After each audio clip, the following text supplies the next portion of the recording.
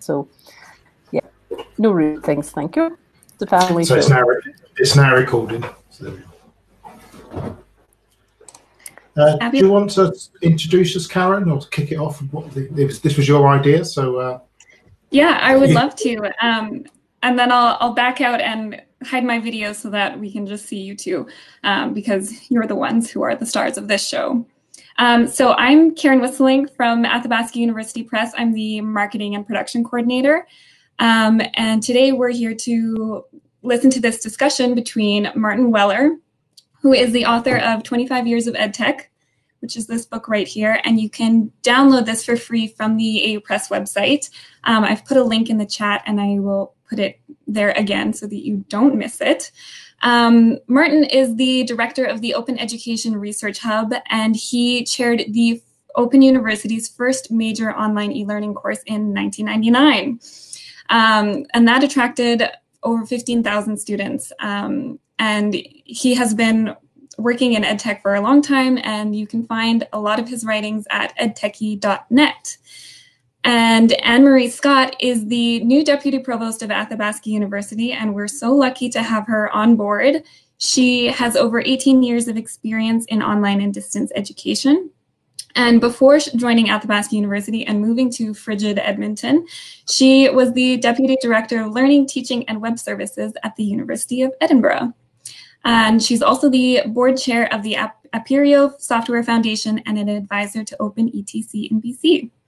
Um, so take it away, Martin and Anne Marie. I hope we'll learn a lot from this discussion, and I'm looking forward to sitting back and listening. Thanks, Karen. And, Thanks, Karen. And thank you, Martin, for being willing to to do this today. I have my free copy of your book as well. Look, I've even read it, sticky notes and things in it. I didn't. I didn't have to pay for it though, so it's okay.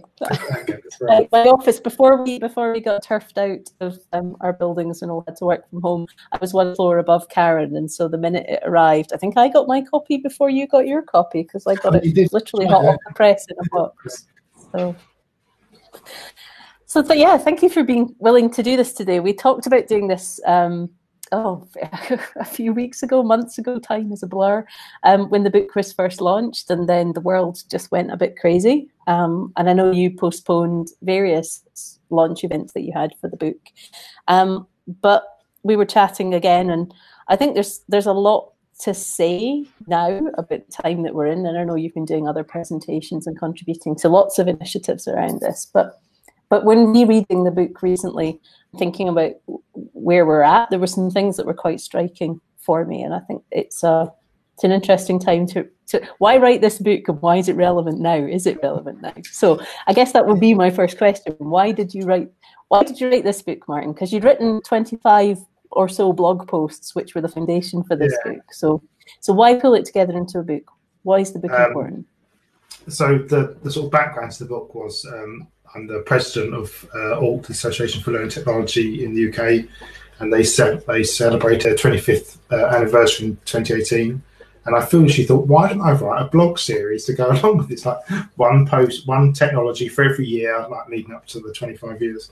And those things you start doing and think, why did I start doing this when you get to like 2007 or something?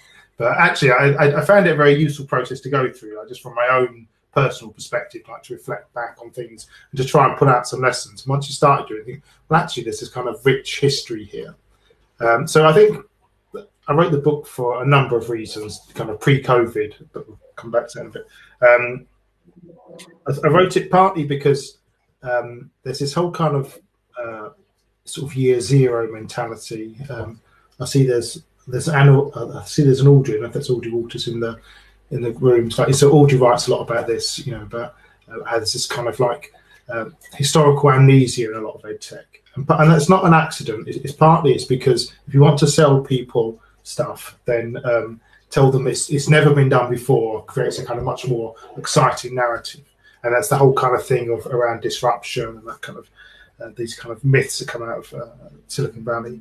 Uh, so partly there's that kind of story, and it's kind of like you get on board now, you don't understand stuff. So they often dismiss any knowledge that's in higher education, um, and it's kind of assumed that people from outside of higher education need to ride in on their white horses or probably dudes on Harleys or something and, and save higher education from not understanding uh, uh, educational technology.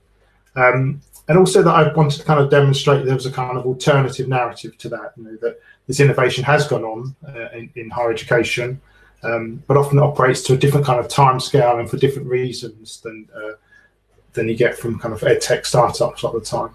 Um, and the other reason was that I think you know part of the richness of ed tech uh, as a field, discipline, topic, whatever you want to call it.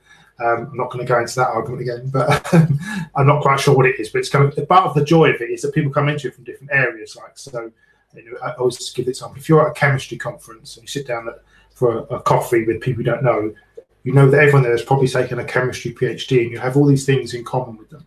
If you go to an ed tech conference, and there might be people who've got you know, philosophy PhD, someone from history, someone from computer science and stuff. And, and actually, that's a real strength. Kind of, but one of the the downsides of that is that um, people don't have a kind of shared framework. I think for talking about this stuff. So I wanted to kind of like provide a basis, at least in, in kind of more recent history for people kind of understanding and sharing some stuff. So that was the kind of idea behind the the book. Um, perhaps I'll stop there because we can come on to then what's happened since kind of post COVID. And I think in some ways, so when we were talking about doing this, I thought I'm not sure I want to do a launch. It's like as I joked, I didn't want to go the full Stephen Downes and say what the pandemic is really about is me, because. but I think actually, the more I've gone on thought about it, there are there is that kind of sense of. Um, I was blogging angrily today about some of the kind of really rubbish takes that are coming out about kind of like online learning. It's like you know, there was a comparison between students who had face-to-face lectures and then they did the same thing giving them online lectures and they preferred the face-to-face lectures. Like well yeah it's like, but that's not the only thing you can do online. So I kind of, it, it's been quite sort of sobering to see exactly the same arguments that we were facing in 99 sort of coming up again. And it's, have we done nothing since? You know, so there is a bit of that.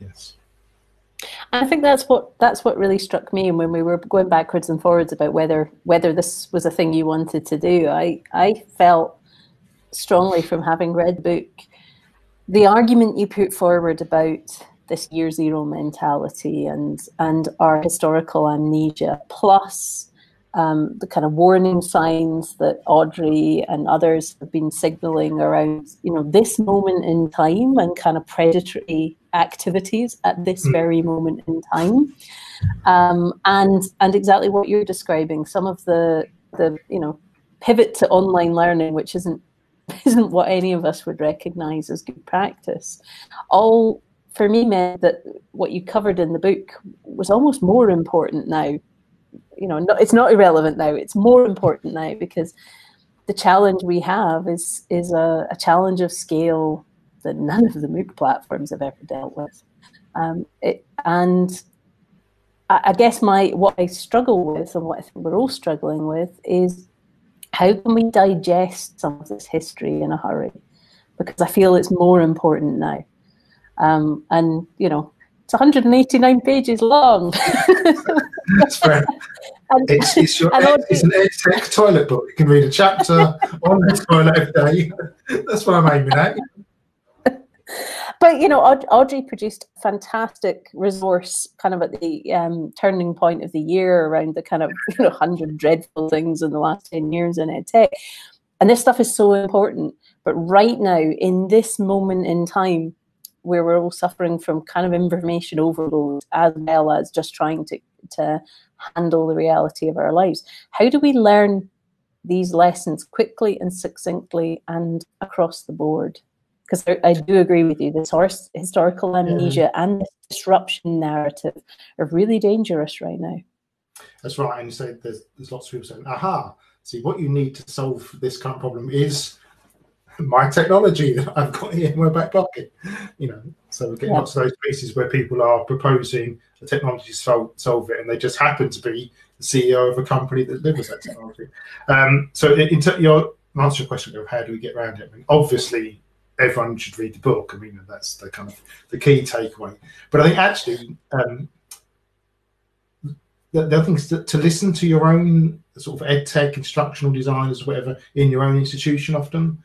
Um, and I think that that's often not been the case. Know, lots of um, ed tech units, whatever you want to call them, they often get moved around. Sometimes they're in the library, sometimes they're in the kind of IT services, sometimes they're in student support, sometimes they're not even a unit and they're kind of split up all over the place. And they tend to kind of get shunted around and have to make prioritize whatever the, the current trend is. And they're not often trusted, I don't think, you know, with their own expertise and listen to. It. I think, you know, there are going to be lots of pockets of expertise within any institution. Um, and those are the people you want to have in the room, I think, when you know the ed tech vendors come calling. And, and, and I have a lot of sympathy for um, senior management in universities and colleges at the moment. You know, they have to deal with an awful lot. You they, you know, no no one's had to deal with this kind of stuff, or not.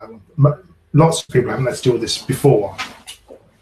Um, and you know, they wanted to go away, and I sort of wrote this post about the magic button. It's like, please, someone just make online learning happen for me. and actually, the answers we give are horrible and boring. You know, it takes a long time. You need to invest in staff. It's expensive. You know, all those sorts of things. Um, you need to create teams, all that stuff. And and what they want is just like someone just make it happen for me. And so you know, there's going to be lots of companies coming along going, we can make it happen for you. We have the magic button. It's going to cost you X, but we can take that away from. You. And you know, that would be that's quite an appealing thing, I think. But there is a there's a danger that a what they give you isn't really what you need to be doing, but also um, you're just creating problems for yourself further down the line then because you're not investing in staff who need to kind of develop that expertise. Yeah, there's a really kind of it's a very instrumentalist way of of approaching the challenge that we have in front of us. You know, you can slot this technology in and it runs counter everything we know, even about technology change, where you know technology is one piece, but culture change, people change, process change, mm. the all all of these things happen in tandem. And yeah, it's like we can just slot the technology and forget about the other stuff. That'll fall into line because the technology is, yeah. is magical. Your your comment about senior management there reminded me of a, a line in the book which has really, really stuck with me in the last just rereading and, and thinking about this. I'm gonna I'm gonna I'm gonna read your book back to you. Okay. Um, it, unless a university principal is being required to save a university from imminent collapse, the kind of high pressure, rapid institutional transformation often seen in tech companies is disruptive in its original sense and harmful to the functioning of a university that really struck me. What are university principals doing right now across the world? Yeah, so obviously I wrote that line and perhaps that, that not hold up because they are now facing that imminent disaster. But the point I was yeah. trying to make there was, um, you know, the kind of comparison is I think you know, universities operate on longer wavelengths. It's like you know so they have changed, but it's like you know over longer periods. Whereas you know a lot of edtech startups are rapid innovation and their whole model is to kind of float on the stock market and get a profit, and then you know often they they stop functioning or they get bought out by Google and kind of stuff. So they're kind of doing this, and so it's about that, and a lot of that language from that innovation and Silicon Valley kind of way of working has seeped into higher education, and you'll see lots of adverts for senior management who need to be kind of like promoting the idea of rapid change and doing this kind of stuff, and we suffered from that uh, at the University a couple of years back. So I'm sort of really bought into that. And actually, the universities have been around for 50, 100, 200 years. And it's like, so you don't want to be operating on that same kind of model that has that kind of rapid change. But now, having said that, like a smart ass, I'm now facing the thing. Well, actually, they do need to make some rapid change and so, and uh, put those things. But in, but, it, but the, the, same thing still applies. You know, it's like them they're trying to make decisions. Oh, they need to get through the next few years. But it's like they are, you know, they're making changes about and decisions about an institution that should persist into the future in the long run and not sort of disappear after five, ten years with a big kind of buyout. And you need different strategies for those two different approaches, I think. And I guess what I found reassuring in in that, and again, you, you touch on it in the book, is the LMS. And you know, certain friends of ours will describe it as the technology that just won't die, but you describe it in the book as uh, you know, it's it's it was designed for education. It's it's one of the few technologies that is well embedded, and mm. in this in this pivot, the great pivot as it will historically become known, I'm sure, um, it it's you know, even the most out there ed techs are falling back on the institutional LMS because it's you know it's designed for scale. People kind of get what it is with minimal amounts of training and hand holding. There's a it's a maybe a kind of boring pedagogical model, but there's a model mm. that people can kind of see from the minute they they log in and, and start playing with it. And I wonder, in some senses, that kind of conservative turn is is disappointing. It's expedient, and I'm not going to argue against it. But I wonder if it also is helpful in the long run because it, I think it reinforces the the point that you've made about technologies that are designed for purpose and where the kind of human effort to pay off is the right balance.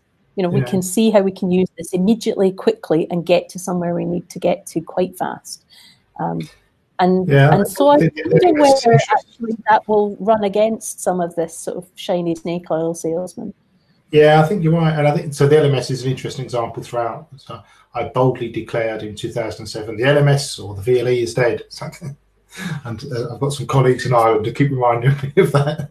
Um, but I think uh, you're absolutely right. So you know uh, that would be one of the the kind of examples I think of where understanding the history would be useful because you know we've we've had LMSs and lots of people suddenly go, oh my god, what do we do? It's like you've got this thing right here. You can do most of what you need to do. I mean, you might need to stick some more servers in or something, you know, and, and put some more support stuff.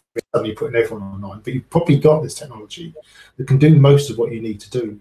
But the problem isn't a technology one. Then you know you, you, can actually do quite innovative things with a with a VLE. It's like you know if you've got enough imagination, you know you can. It's not limiting you particularly in what you can do. You know it, it's not so much fun, and, and you take away some of that stuff that you know people like uh, Jim Groom and Brian Lamb like to talk about. You know about the sort of get people to experience the kind of open web as a kind of environment. And, and I get that, but even then, you can do that from a VLE or an LMS. You can sort of have people linking out. So, um, you know, I think it's interesting because it's there, and you can do a lot of this stuff already.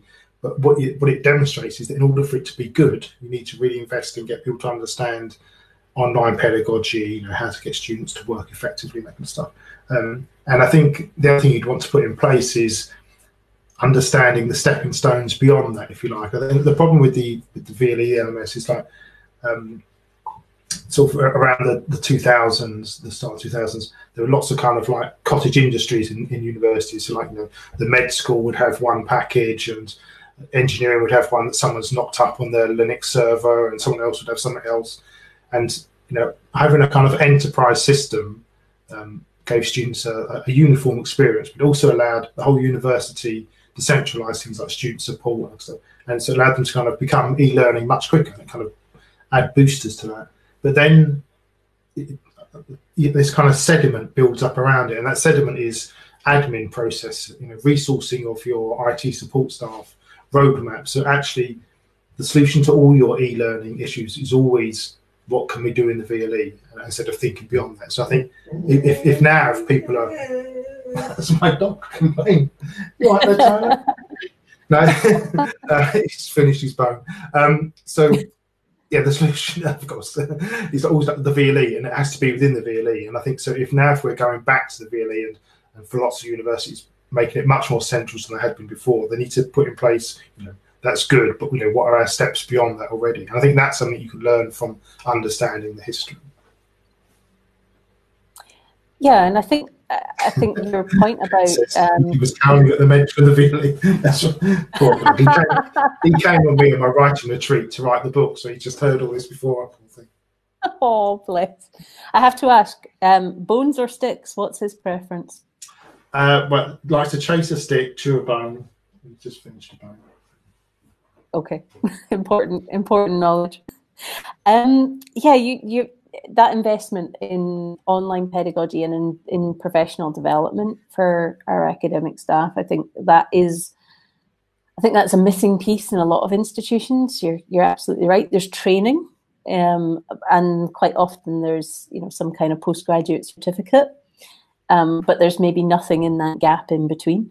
Um, and again, this is where working with your local ed techs, learning technologists, learning designers, whatever we're calling them, instructional designers, whatever they're called, um, mm-hmm. can can help. Um, but one, I mean, I'm now at an open university, and clearly you're the Open University of the UK. One of the areas I'm not seeing an awful lot of focus on right now is student supports.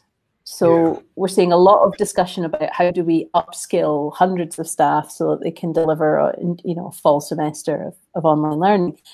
But what we know in our institutions is that you have to orient intentionally orient students to online learning as well. Yeah. Um, and I'm not seeing a lot of activity in that space. No, I think you're right. Um, Clint's in the chat. So Clint put together a good collection of resources the other day. So you might want to put that a link to that in the chat, Clint, about kind of issues of student support. And I think you might the, the um, analogy I give is that um, when you go to a campus university, the the architecture, the, the physical buildings do a lot of work for you. Um, so you turn up to a lecture at a certain time and receive your content. You know, if you're there at that time, you'll get this. You go to another building in the library to get your resources. You know, you might go to somewhere else to do socializing, and socializing is important in terms of you know connecting and feeling part and a, a whole kind of academic identity. You might go to somewhere else to do your kind of studying, computer uh, center, that kind of stuff. So the buildings do a lot of that stuff for you. And when you when you work online, um, you know, with our distant students, um, then they have to take on a lot of that kind of responsibility. So they have to kind of, particularly if you're studying asynchronously, which is a real benefit of studying online, but they have to kind of organise their time around other competing pressures often. Um, and they have a lot more kind of agency, which is which is great in many ways. They can you know, decide when they want to learn, when it's best for them, and, and fit it around other things. But also the, the, a lot of kind of that responsibility for organising your time and getting feedback and, and making connections with other students um, falls on the individual student, and that's really difficult. So we have lots of onboarding, for want of a better phrase, for our Open University students. You know, we have we have a course on being an Open University student, a kind of free open course for you start. So I think that's what that's going to be a big issue for lots of students, you know, particularly if they didn't want to study this way. Uh, in the blog post I put out today, I linked to an article uh, uh, some colleagues of mine did a few years ago at the OU. And, you know, it's not rocket science, but students who choose to study distance education really like distance education. Students who choose to study on campus like being on campus. You know, so so your your perception of quality is framed by your preferences. But what we're going to have that you know, if you want to talk about this, the, people keep talking about the global experiments happening. There. The experiment is really what you have when people who wanted to learn face to face are forced to learn online, and so they're going to. You know, there might be a kind of mismatch between what they want and what they expect. There. Yeah, and I've seen quite a lot of, of news coverage about you know students demanding refunds on their fees because universities are closed. And I think we're doing uh, doing our students a massive disservice, not just in terms of preparing them to succeed in really trying circumstances, but also helping them understand that what they are about to do still has value. It's not a, this was your the whole point of your blog post this morning. Online learning is not a poor substitute. It's not the poor relation. It's different. Yeah. Um, but it's not the poor relation of face-to-face teaching. It's a different mode and it's designed differently. Um, but I think but that, that means they, they have to um, really design it differently, as you say. So it is a poor substitute if what you're saying is uh, you're going to come to face-to-face lectures. Now we're giving you some online lectures, and that's it, and off we go. Because then you're not taking advantage of any of the, again, uh, for want of a better word, affordances of distance education and online learning. But actually, if you make that kind of stuff really work for people, you know, here's a here's a course that's been designed by a team, and you know you can study asynchronously, and here's all these other tools we're going to use. And actually, uh, there's there's a kind of real advantage. You can sell that as an advantage. But I think if if all you're doing is the kind of deficit model of you know we know it's not as good as face-to-face lectures, but here's a, here's a Zoom lecture. Then you're always going to get that, that attitude. But I think you're right. It's going to.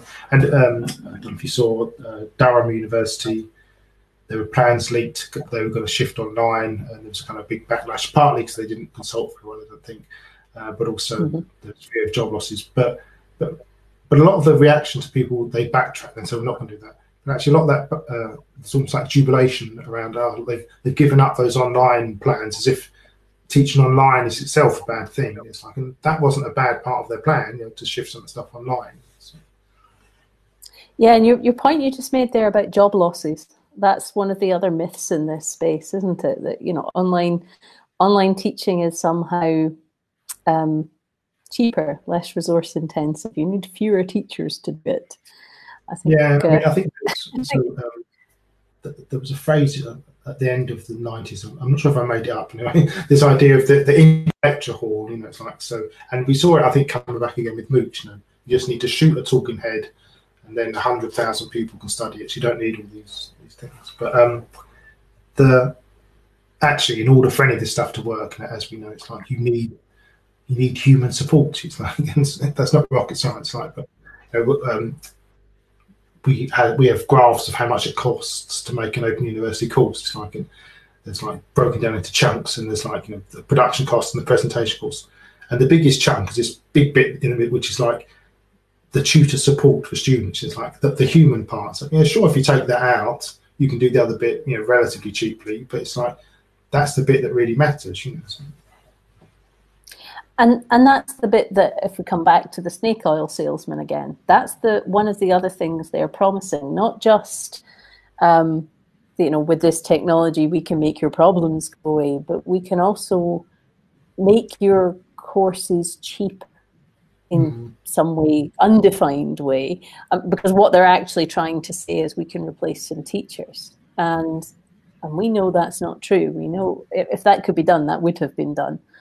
Um, and I, I, particularly like the work that um, Sian Bayne has done at Edinburgh with the Near Future Teaching Project, thinking about the role of a teacher centrally within within this technology space and recentering the teacher and not pushing being critical about automation and AI and various technologies, but but also saying these things can live harmoniously together. Um, but it does require us to conceive of the role of the teacher differently um, and not not as a deficit or or something we want to kind of make more efficient. But um, and I I worry about that at this moment in time, particularly with the black holes in finances that that people are facing. That that there's an extra level of seduction that might be in some of these you know technology presentations. Not just will it solve your problems, mm. but it will well it'll solve a number of problems, including your money problem and I.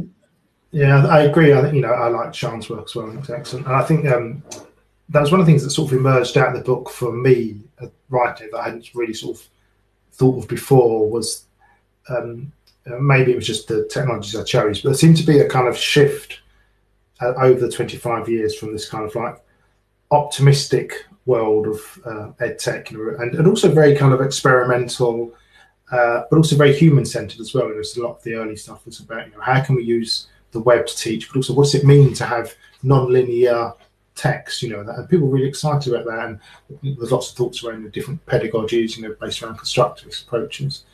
Um, and then kind of later on, the sort of technologies we're getting are, you know, blockchain, AI, um, learning analytics, all of things. And again, none of those are inherently bad but actually a lot of the pitch around them is around exactly as you say the kind of removal of the teacher. I think there's kind of simplistically kind of two flavors of ed tech. There's the kind of supporting human educators, and then there's the kind of trying to remove them and, and, and simplify the process or make it more cost effective.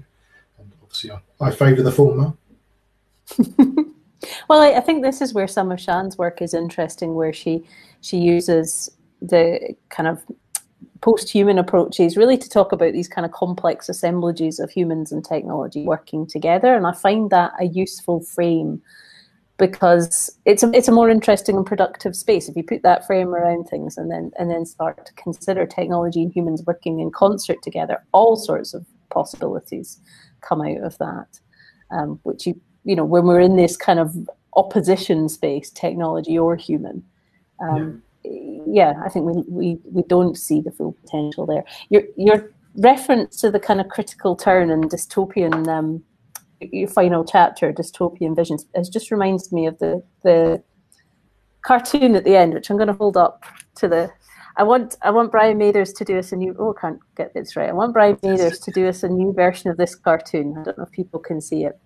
And yeah, that bit that says years later, I just need that to be changed to COVID nineteen. Days later. days later. Someone joked I should do I should do a follow up to this book, which is 25 days of ed tech, which is kind of like the change. Oh, 25 minutes of ed tech. Um, but maybe that's the historical primer that we need. Maybe that's the short form primer that we need to, you know, to not repeat the, the same mistakes and to to beware the snake oil salesman. That that little cartoon really struck with me, not just because the, that time scale in the middle is you know shrunk years later, like two months later, um, but that final picture with the you know surveillance and and this sort of lockdown dystopia. Um, and I've been thinking quite a lot about trust because there's you know there's a lot of stuff about online proctoring um, in you know in discussions as people are flipping to online exams, but there's also quite a lot of discussion about what it means to be a remote workforce. Um, you know, so there's something in this moment about the extent to which we trust each other, which is also being, I think, a light is being shone on it. Yeah, um, those those snake oil salesmen coming out for that, aren't like, but again, it's part of that kind of lack of imagination thing again, isn't it? It's like um, we need to do assessment. We always do exams. So how are we going to do online exams? Aha, we have the solution for you. Here's the magic button. Rather than that sort of thing. Do you know what? Maybe exams aren't a good thing to do. Uh, uh, um, and I think actually that might be one of the outcomes in this. We probably won't see the death of exams, but I think if you think of the higher education sort of system, I think what COVID is, has revealed to us is there are kind of certain, if you like, weak points in it or kind of roadblocks, and, and exams are certainly one of them. Bringing all the people together in one physical location to test their time over a set time, you know, and if you haven't got that, you've got no idea of their assessment at all. You know, so missing that kind of ruins it. So I think we'll see a shift to kind of much more um, continuous assessment, but also maybe more kind of project-based assessment. So, but even that comes with these issues because the other thing I've seen is the blockchain boys are in the house and they go, no, do you know what? You need to get rid of exams and do um, task-based assessment, and the only way you can do that is through blockchain. and this is again, I think, an example where some understanding of history is useful because uh, uh, maybe blockchain is a really good way to do that. You know, I, I'm not a blockchain expert, but I think you should at least ask the question: Okay, what does blockchain do for us here? that you know nearly 20 years of e-portfolios hasn't done. So e-portfolios are exactly the same idea that you break stuff down to lots of little tasks that people collect as they go along, and then at the end they can exhibit it, you know, and it's safe and you know, secure and those kind of things, and you take it with you to different places. Um, and you know, e-portfolios have had uh, quite a lot of success, particularly in certain disciplines, but perhaps not as much as people thought at the beginning of the 2000s. But um, but the issues around them are, are, not really technical. It's about kind of employers recognizing them as a valid thing to do. It's about um, educators changing their the way they teach so that you, know, you break it up into kind of smaller chunks. It's about students themselves getting to grips with them. So actually, the problem that blockchain is solving isn't really a problem at all. You know, it's about um, so for blockchain to work in terms of these kind of smaller aggregated pieces of assessment, we need to overcome the same issues that e-portfolios have been trying to overcome for the past 20 years. So if you understand that, and that would be the question you could ask your, your blockchain salesman who comes knocking at the door. Uh, but underneath both of those, you know, remote proctoring and blockchain, I think is still a fundamental position about trust. Mm. If we do so, not verify in some kind of immutable way um, yeah that you know you are who you are and you say you've done this work then we don't trust you and it's that we start from a default position of not trusting our students when the research we have around plagiarism tells us it's what maybe 6% of students and yeah. then you know there are quite specific circumstances and that i find very interesting right now because a lot of those circumstances a lot of the research shows us that it's when students feel that they're being asked to do something unfair. You know, when we've tipped that balance, that kind of contract we have with mm-hmm. them, and we're not supporting them, when we're asking them to do something unfair, or the stakes for failure are so high that their moral judgment is, you know, they're willing to flex their moral judgment. And right now, in this moment, where we demonstrably don't trust them, and that's becoming really, really clear. Um, and we're asking them to do high stakes, time bound assessments when we're not really recognizing the life circumstances that they have. I think that's all the evidence suggests that, that um, we're, we're probably causing a problem in this time and space. That these, these technologies are not helping. Um, no, I think there is a big issue around trust, and I think actually when you do trust students, I mean, I think you know, um, there are there's a kind of scale of this, and someone like Jesse, uh, someone would be, you know, I've spoken to Jesse about this, and he's like, you know, he doesn't care if students plagiarise. You know, that's fine. They're still learning. That's that's up to them, kind of thing. And I think there's other people who are kind of at the other end. You know, like no plagiarism must occur. And I think there's probably stances in between. Um, but actually, most students, you know, are there because they want to be learning. And if you give them interesting projects as well, it's actually a really good thing to engage in, and students and really enjoy that. They don't want to kind of plagiarise someone else's uh, project, particularly if it takes a bit of time. Um, so I think it does reveal a lot about us, doesn't it? Really, I think this kind of position of um, we want to check you're not cheating all the time. So I, I, was an external examiner on a computer science uh, course once, master's course, and they had to do kind of weekly tasks about coding, and they would be punished if they copied someone else's code. It's like that's the whole point of being a code is that you, you find good bits of code and reuse them. So, like, so a far better assessment would be go and find a bit of code that works and tell me why you think that's a good bit of code. You know, it's like so that kind of plagiarism mindset was even there where you know, copying is actually exactly what you want them to be doing, what you want to teach them. Yeah, yeah, and I, have had conversations with colleagues here about the extent to which you need to be able to regurgitate things from memory. There are very few jobs in this world where you need that split second knowledge. Like heart surgery, yes. Critical yeah. care nursing, yes, absolutely. Tax accountancy, not so much. Um, yes, you do need to know, you know, which taxation rules and and and so on. But you, you can you've got the time to go and look that up in a book. You need to know what book, and you need to pick the right thing from the book. But are we really? Are we really? Yeah, testing the right stuff. I'm not going to go down that rabbit hole. I could. I could go down there for ages, but but I think this moment in time for me certainly is is shining is shining a light on a lot of a lot of these tensions and pressures which have been there just below the surface and are now becoming really really visible and they're becoming really visible to our students we see a lot of students pushing back against proctoring against surveillance um, think there's a i want to say university in canada who've recently demanded that all their students buy webcams so that they can watch them do their maths exams. And the students are up in arms about this because they don't have the money, let alone the, the lack of trust. I'm going to ask one more question, um, and then I think we should throw it open um, to the rowdy crowd because they've been very chatty already, so they should get an opportunity to ask a, a few questions. The final one I wanted to ask, and it's something again that struck me as I was reading the book again and reading particularly the chapter on MOOCs and this whole, you know, kind of promise of technology at scale.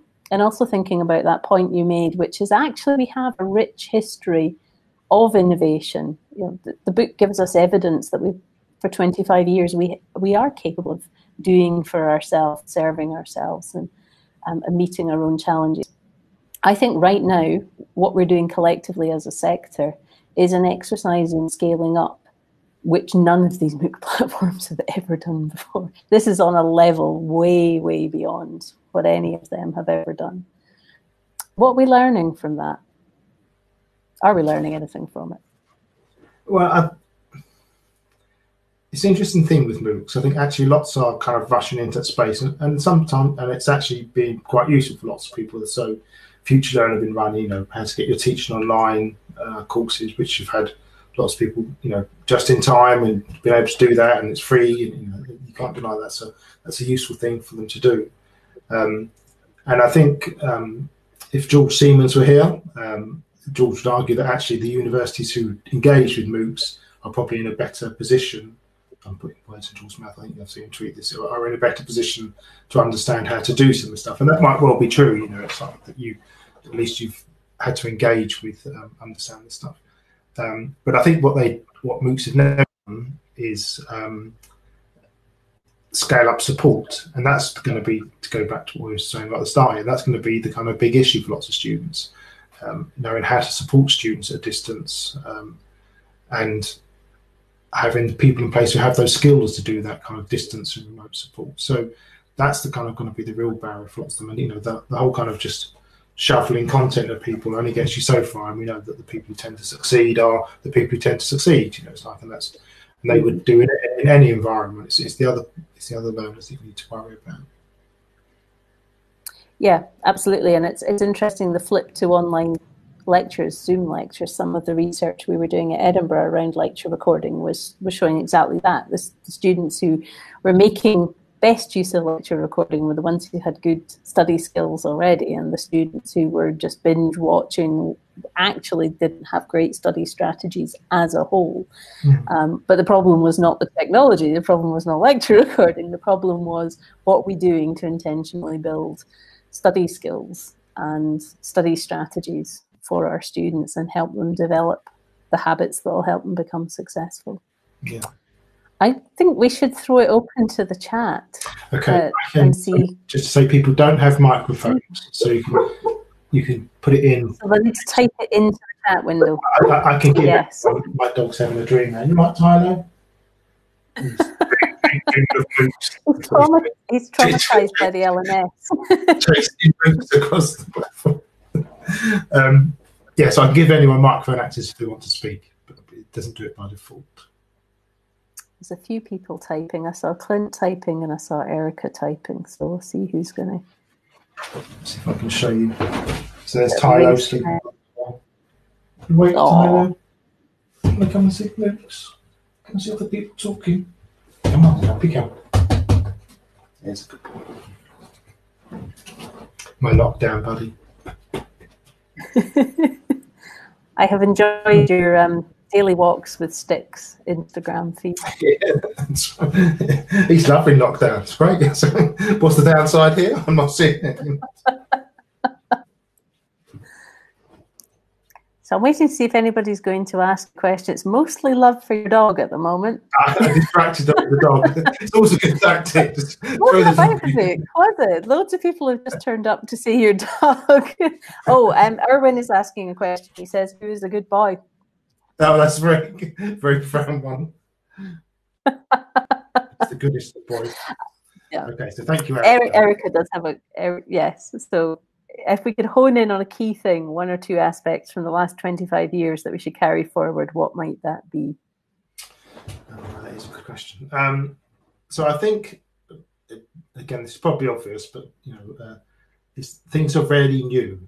So I think you know when you're getting stuff, it's like if someone's come along with something that looks new, or saying um, even um, so. Uh, wrote a piece, um, a really kind of deep dive into stuff, and, and Audrey sort of writes about kind of how this isn't unprecedented. I mean, I think in some ways it's unprecedented for it to happen everywhere at the same time. But uh, quite right that you know it's not. We've had this similar types of things have happened before. You know, so uh, certainly recently in uh, South Africa when there was the whole kind of fees must fall uh, protests and lots of people had to shift online. But even going back uh, other times before that, there have been disasters and things. So even this type of situation isn't that unprecedented. But certainly lots of technology and people come along. This is we've got a new way of doing stuff. We've done things similar to that before. Um, so that's you know, so to look back and see what's been done before and what we learned about why that worked or didn't work and if those things have changed. Um, School of Health Administration says perseverance. I think that's right. Actually, you know, uh, uh, one of the points I make in the book is that it's a it's a kind of long game. So these things aren't. They take a long time to kind of change academic culture. And I think that's a good thing in a way. You know, it's like partly the, the point of universities and, and higher education that it doesn't change overnight. You know, we didn't close all our libraries down and put everything on laser discs back in the early 90s or something. You know, it's like um, so I think that kind of understanding that's a long game. I, I, was I was partially involved on and off with learning design at the Open University. It took us about ten years to get learning design embedded into OU practice. You know, it's like so.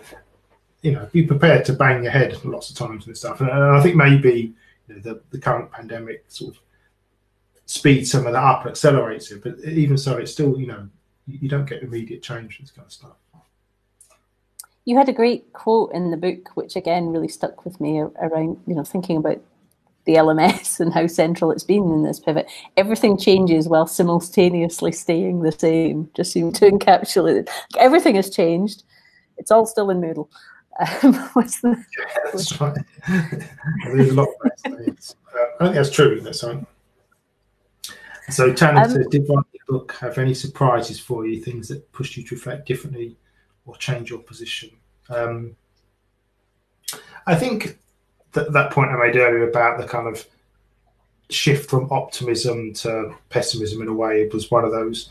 Uh, and also, I think the shift to a much more kind of conservative approach um, with lots of online learning now was kind of quite a surprise for me. That I hadn't really registered before, and I think that might partly be due to when it was when it was new. It was new, and you suddenly thought, "What can we do differently with this kind of stuff?" And now we're kind of surrounded by you know, online technology and the web and social media. None of it seems new, so you end up just taking it for granted in a way. Whereas I looked back on, for instance, um, someone proposing like how they would use wikis, and I thought, wow, that's really radical to do, do any of this stuff And, in course now. That'd be really radical. This was like 1998. So I think that you know the way we hadn't fulfilled some of that uh, experimental radical promise, I think, of e-learning was probably one of those those those points.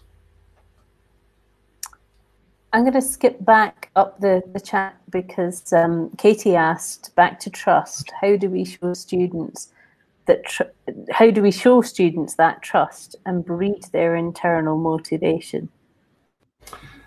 I mean, I think um, I don't want to sort of go into the whole kind of assessment thing, but I think lots of it comes down to assessment. You know, giving people either what people call authentic assessment or even just vaguely interesting assessment, like if you have to do a multi multiple choice quiz like every half an hour, it's like I'd be inclined to cheat on those. Like I just don't care. You know, I think you're just not invested in them enough. But when you're writing, you know, a long project that's about something that you're interested in, um, then you you want to kind of engage with that, and so you're, you're, you're trusting students both in terms not to cheat, but also trusting them to to come up with good ideas themselves and to kind of be motivated. And I think they need help to do that. Need, people need help to structure what's a good research question, what's an appropriate topic, you know, something too big or too small. But th- those are the types of things that we can help teach them. Um, so at, uh, at the Open University, I'm the chair of the Open program, and that's a big multidisciplinary degree. So students can choose any modules they want. So they can study chemistry one year and uh, music another year and there we kind of really trusting them to to choose their own paths through their through their degree, and we offer advice and stuff. But that's really interesting. We look at what they study, and they really do study a wide range of topics. You know, so I think it's not just like one or two paths that come through. It's the, it's the whole range of things. I think that kind of giving students some kind of agency about what they what they do is, important. Yeah, we talk a lot about learner centered journeys, learner centered centered this and this and that and and we don't have many flexible pathways for them or or many options for them to bring themselves to the the plate so i think that trust piece is is pretty solid there um, Vive has asked, uh, Vive Kumar has asked a question um, about your learning analytics chapter. I think there's an interesting point about here. You, I think you said downsides to learning analytics are that they can reduce students to data and the ownership of this data becomes a commodity in itself. But he makes the point that whatever perceptions we build of students are always based on data. Yeah, okay, that, that's fair enough. I, I, guess my point there was it was partly driven by um, I remember going to a learning analytics conference, and I think the interesting thing about learning analytics and MOOCs was they kind of brought in these kind of hardcore computer scientists into EdTech and to mix with us kind of hippies who had already been hanging around there, and that was interesting. And I think it's part of that fruitful thing again. But the way they talked about students was always kind of just as data points. Like we can move this data point over here, and we can see this data point as an outlier. And they soon became they weren't talking about humans, you know, actual learners and stuff. You know, you were just a data point. Um, and you know, and the, the idea of being a commodity also is that you know it's about you can sell that data to other people. And I think I think just each time you do that, you're sort of slightly removing yourself from viewing those people as humans with a kind of whole kind of context around them. Yeah, I, I, I think the learning analytics um, field is a well, it's a fascinating one. As you know, it's one I'm particularly interested in. But it's another one of those areas like learning technology that brings people from a really wide variety of disciplines, and and there isn't a common framework again. So you may be coming at it from a, a, computing science perspective, or you may be coming at it from a learning technology or a pedagogy perspective. And even more so, maybe than learning technology, it's a field that's still finding its its feet and working out how to bring all those different perspectives together. And, and I think your, your point earlier about diversity as strength has got to be the watchword inside that that particular community. Yeah. Uh, yeah, I'm, I'm, and, not, and it, I'm, not, anti-learning analytics. I want to stress that. I think you know we use it quite a lot at university. It's it's very useful for distance uh, education. The sort of analogy I give is um, perhaps to the point that someone's making. You know, um, if you're in a classroom, if you're lecturing, um, then if students look really bored, that's kind of, that's data in a way, and you might res- respond to how you're giving your lectures. Like, I need to change what I'm saying, or if they're talking to each other, if they look confused, so you might change what you're saying. Whereas you can't do that distance, but you can do that with sometimes the analytics. So students seem to be coming back to this resource a lot. Why are they doing that? They're spending longer mm-hmm. here. Maybe we need to change what we're doing. So that, you know, it, that's all useful stuff. I think. And that's a particular view of analytics, which is a kind of I was going to say quality assurance view of analytics, which I, I, I, like a lot of what the Open University do in this space with, you know, trying to understand how courses operate and how they're experienced by students, mm. as opposed to trying to make predictive judgments about students yeah. and, and, their trajectory. Um, it's a different it's a different lens on the same you know, the same lying ambition around supporting students, and it seems to be a more rigorous and and maybe more immediately fruitful one as well. Um, Pamela has asked a question. what do you think of disruptive innovation as a way of thinking about online learning? I think you said one or two things about this in the book. I think it's terrible. Um, I think that I've got another talk I gave a, a, a I was at a conference recently, I was keynoting a conference, which was about disruption in higher education, and, and my, my whole piece was why it's a crap theory for education. Um, so I think actually it's just a really bad theory for education. It hardly ever occurs in the way you want it, uh, in the way it's often portrayed. And when it does occur, you probably don't want it to occur. So, you know, um, so I think when it first came out, it was quite an interesting theory, um, and it helped explain some of the things around the digital revolution. Like why did Kodak disappear? You know, why did Microsoft become bigger than IBM? But actually, when you go into explore it in more detail, it hardly ever happened in the way that um, Christensen set out.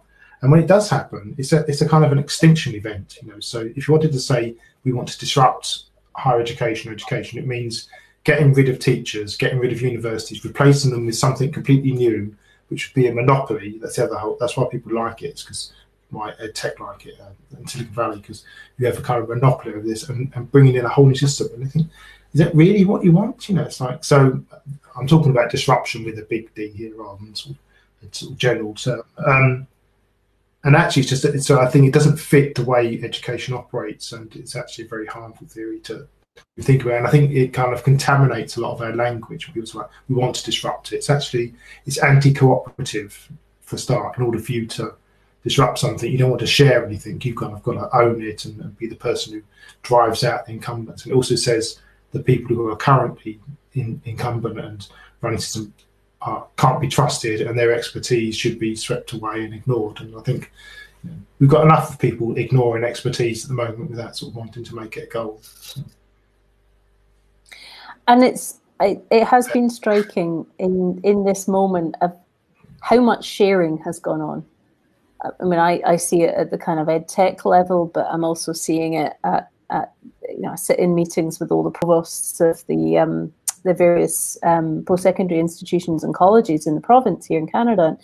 The the amount of sharing that the sector is doing to to just try and get ourselves through this, um, sharing our plans, sharing our you know our our collateral, sharing our expertise, the number of resources that have been put together, you know, people crowdsourcing stuff for their own purposes, but sharing it out beyond their own ed tech units just to help anybody um, get through this. It, that's heartening.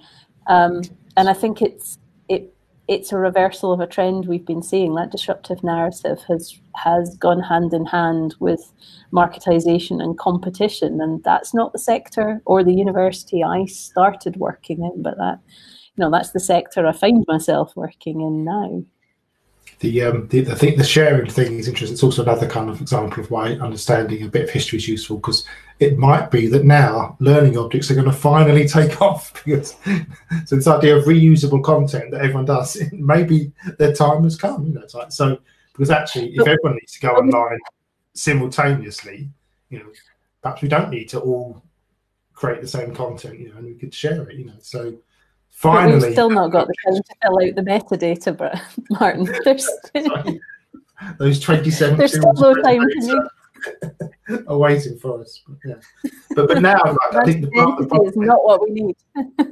part of the problem with learning objects was the return on investment wasn't great enough because not enough people used them when you made them, and you'd if you did have to fill that stuff out by hand. But now there might be enough of that kind of return. So again, it might be one of those ideas that sort of comes around again, and if it does that it'd be useful to know why they didn't succeed the first time around, so you can at least try and mm-hmm. avoid those. Mm-hmm. So I'm gonna I'm gonna um, we've got three minutes left before we hit the top of the hour. Um, I'm gonna um, abuse my privileges here, um, and there's a there's two questions I want to ask. So one one is literally for a friend, but I think it will speak to a lot of a lot of people on the um, on the call here, um, which was Is there still a place for adventurous ed tech in a world where few teams have developers and we're all just answering help tickets now? Um, I'm asking you to do some future gazing now. Will, yeah, will think, we ever do anything fun again? I think in the short term, probably no. I think there's a kind of like survival emergency mode at the moment, you know. Um, and that partly speaks to that uh, really good piece that uh, Brian Lamb wrote, you know, about you know, now it's not the time to do that kind of stuff. And I think when you're trying to get lots of new learners online who aren't studying that way, the last thing you need to do is just throw a really strange pedagogy at them as well. That's kind of you know difficult to follow and difficult for them to know if they're doing the right thing. But I think once we get through that, I think I don't think after this shift everyone's going to be online forever, but I think there'll definitely be a kind of a lift up of the number of people teaching online and the kind of investment in that. So once you've done that, I think there will be a kind of second wave or third wave, whatever. Um, people start to think, okay, what can we do that's maybe a bit more interesting this now? Particularly if we do start to do things differently around assessment, you know, how are we going to do that? So I think that there's a perhaps some of that a return some of that kind of experimentation and optimism we saw the kind of early nine, late nineties might might return once we kind of have got a stable base, if you like, to, to work from. That's what I'd like to. Yeah, I guess I, I'd hope, like you, in a few years' time or a year and a half's time or whatever. I mean, Tony Bates has made some predictions in this space about, yes. you know, we're not going to see a huge uptick in the, the use of online learning. Some people will, will go that direction, but what we'll probably see is a, a much larger uptick in, in blended learning. Um, when campuses open again, the use of technology will, will probably stay high. And so that, yeah, I think you're right. That's where the potential for, now that we've got maybe a, a new group of people hooked, um, whether they wanted to be or not, they are now. Then, then once we get past this moment in time, yeah, their their interest in experimenting might be there, and and so that potential might be there for us. But I agree with you. I sadly don't think it's going to be anytime soon because we're all just getting through. Um, I'm going to ask. ask my final question. I know you I noticed your your um, recent blog posts that you posted about past, present, and future. Your future one was very short, um, and you, you you know very much didn't want to play into trying to predict the future, and you pulled the same trick in the con- conclusion to the book as well. Um, but one funny thought has been running through my head. I just want your opinion on it. What is the Horizon Report 2021 going to say? Because right. right now, LMSs are hot shit. I wonder if you could just actually uh, revise the Horizon report from about 2005, and that's probably about what would be what we could run. Because like I've started doing, uh, carrying on doing the technology per year kind of thing. So last year my technology or technology trend was micro credentials. It's like uh, I think what, what's it going to be this year?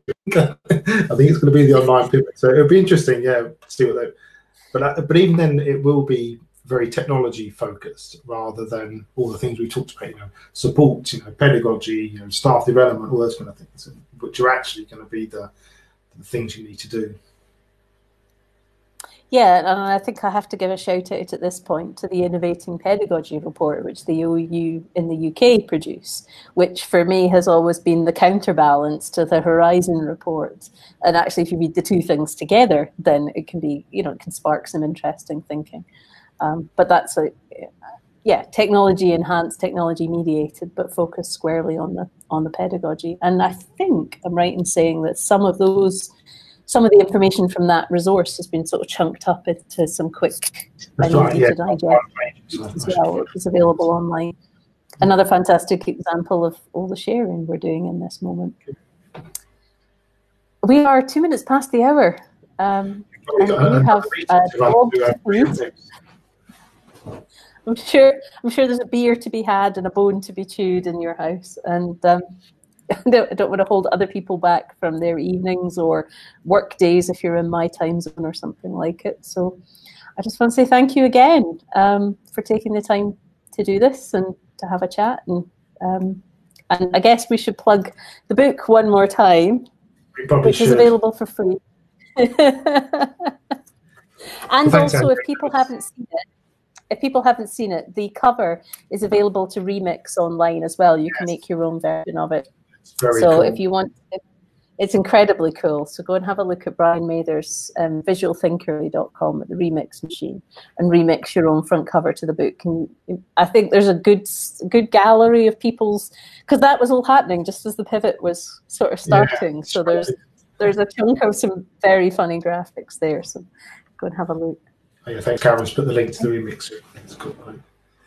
Brilliant. Perfect. Thank, Thank you. Thanks very much, Anne-Marie. I really enjoyed that. It was a good chat. Thank you, folks. No problem. I really enjoyed it too. It was a, a really nice, really, really nice way to spend my lunch hour. And um, I'll stop the broadcast on DS 106